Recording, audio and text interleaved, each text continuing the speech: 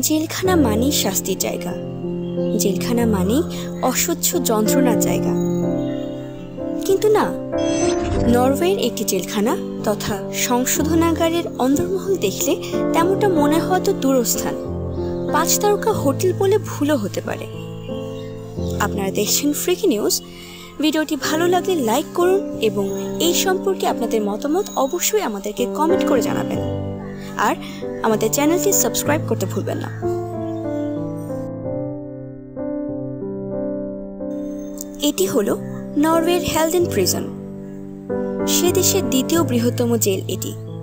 দুহাজার দশ সালে তৈরি হয় এই সংশোধনাগার।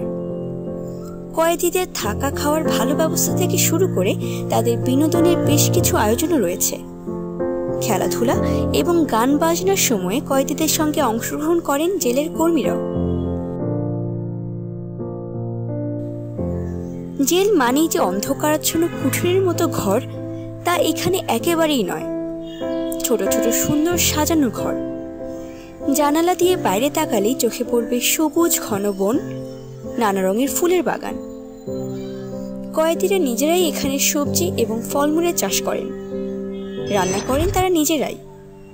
একসঙ্গে খাওয়া দাওয়া টেলিভিশন দেখা এই ধরনের কর্মকাণ্ডের মাধ্যমে তাদেরকে স্বাভাবিক পরিবেশের মধ্যে থাকার সুযোগ করে দিয়েছে জেল কর্তৃপক্ষ। নরওয়ের অন্যান্য জেলের তুলনায় হেলডেন প্রিজনকে ম্যাক্সিমাম সিকিউরিটি প্রিজনের তালিকার মধ্যে রাখা হয়েছে।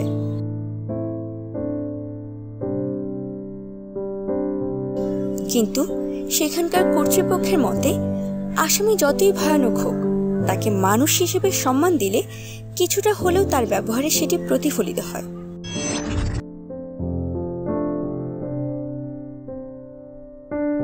আর এই ধরনের সুন্দর স্বাভাবিক পরিবেশ অপরাধীদের মধ্যে অপরাধ প্রবণতা কমিয়ে আনতেও সাহায্য করে।